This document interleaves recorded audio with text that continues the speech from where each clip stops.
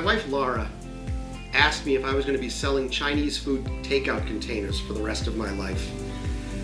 And she said, Why don't you ask your father what he does for a living? I was intrigued. My father had been a financial advisor since 1968, and frankly, I knew it had to do with money, but I wasn't quite sure what it was that he did. And Dad began to explain that to me, and one of the things that he told me was that there will never be a day in the office that will be the same. Just as everyone seems to think they know what's best for their financial life and for others' financial lives, what I see is the opportunity to see thousands of different lives, hundreds of thousands of different lives, hundreds of thousands of different opinions.